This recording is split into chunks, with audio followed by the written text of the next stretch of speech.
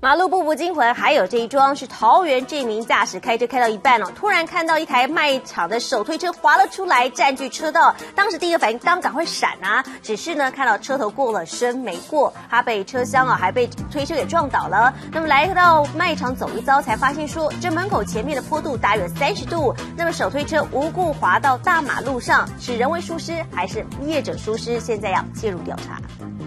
开车开到一半，方向灯都还来不及打，一秒变换车道，全是因为他。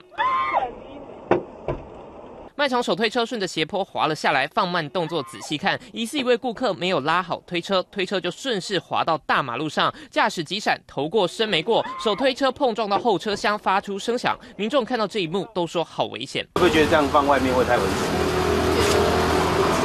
因为他这边离马路很近，啊，所以你们也会担心的。对，他离马路蛮近。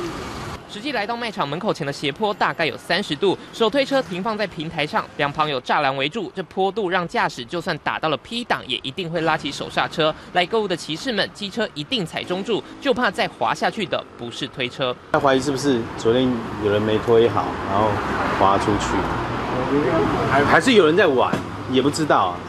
卖场表示，总公司已经介入调查事情原委，不便再多做发言。推车无故滑落是斜坡太斜，还是顾客的粗心？总之，这突如其来的马路第四宝，实在让驾驶吓一大跳。记者范国天天报桃园采访报道。